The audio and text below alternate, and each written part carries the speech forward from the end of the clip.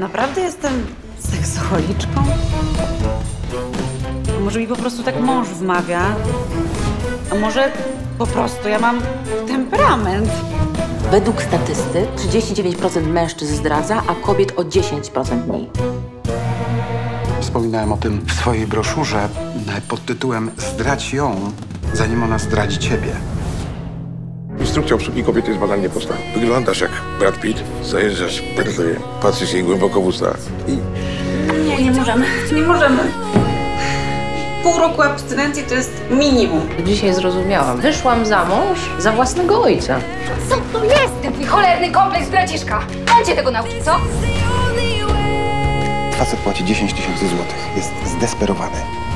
Płaci w gotówce. Trzeba uwieść jego żonę. Living in the moment till the day I die. I'm thinking about tomorrow, I'm thinking about tonight. Franek jest przystojny, wierny, jest w ogóle sprzeczny z prawami natury. Kobiety są nieprzewidywalne. Facet też człowiek.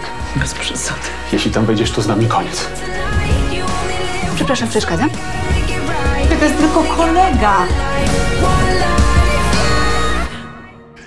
To co robimy? Napiłbym się. 白くないですね。